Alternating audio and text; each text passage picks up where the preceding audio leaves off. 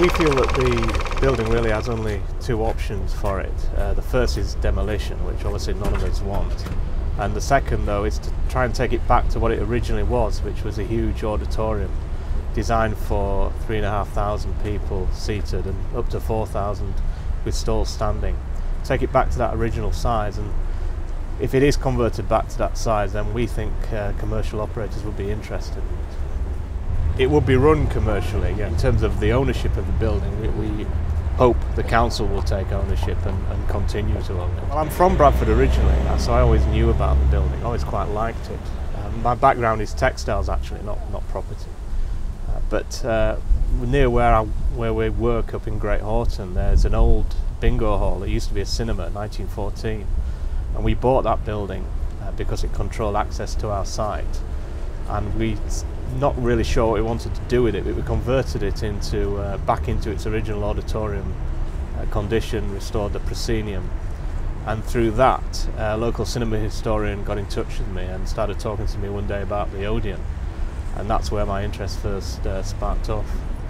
Even as a cinema, it was huge, and you can imagine that in inside the cinemas were built inside the original auditorium. So there's two cinemas side by side and underneath a bingo hall. So if and when we restore the original auditorium back, it's going to, I think, people take people's breath away. Really, the sheer size of it. It's not really a theatre. It's it's uh, for live events, particularly live music, amplified music.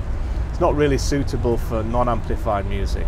Uh, initially, we looked at maybe a concert hall that could accommodate classical music, but it's not that kind of venue. It's really for live amplified music.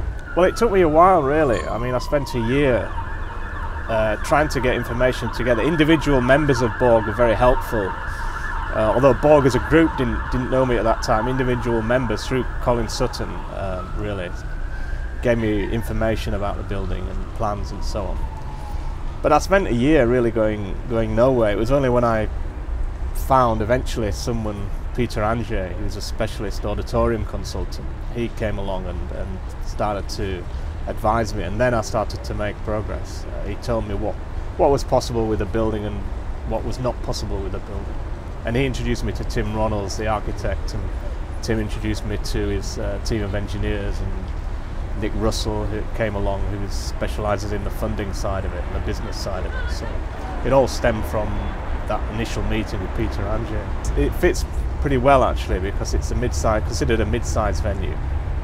Um, so it's got about 4,000 people um, stall standing.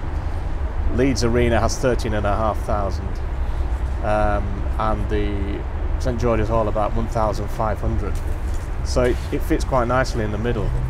The nearest venue of this size is about um, is a Manchester Apollo. Mm. So people shouldn't have to go to Manchester to see uh, see, a, see a venue of this size.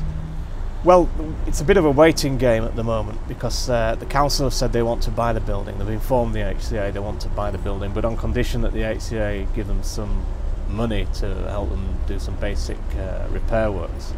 Uh, the HCA are considering that and uh, should be giving an answer the middle of next month. So if it does go forward, I think it will, and the council end up owning the building, then the council will start um, like a competition invite offers of interest and so on, and hopefully we'll be uh, at the forefront of that. This building means a lot to, to Bradford people. It's it's uh, was a centre of Bradford social life for, for 70 years almost. Um, so people have very good memories. That doesn't mean that, um, that I've I said before at the launch event that these good memories and nostalgia don't pay the bills, and a lot of money will be needed to restore this building, convert it into a new use. I, be, I believe it could be done. Uh, I think the council will want to do it um, with our help and support, hopefully. Uh, but it, it, still needs that public backing uh, because I don't think, without that public backing, I think the building would have been demolished uh, years ago.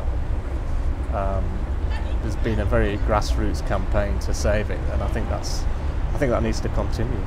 My background is textiles. I'm not in property. This is, I'm not doing this for any hope of monetary gain or anything like that. This, Bradford's my hometown. Um, I want to see a lively and exciting place like it used to be. People, people said some people have said to me that people from Leeds used to come to Bradford for a night out. I couldn't believe that when they told me. That, that's what we want to see again in Bradford. And this kind of venue, bringing thousands of people into the city centre, in an evening is just, just what the city needs really.